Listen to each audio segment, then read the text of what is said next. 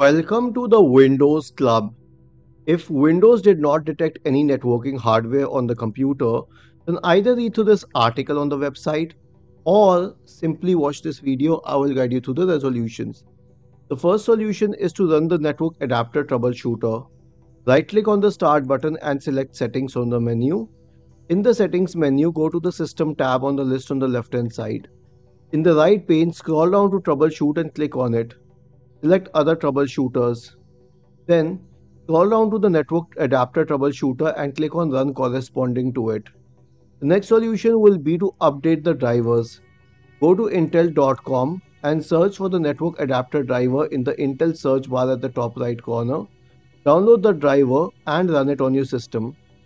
The next solution will be to uninstall any recent Windows update. Right click on the start button and select settings. In the settings window, go to the Windows Update tab on the list on the left hand side. In the right pane, select Update History. After this, scroll down and click on Uninstall Updates. Right click on the latest update and select Uninstall. Last solution is to perform a system restore.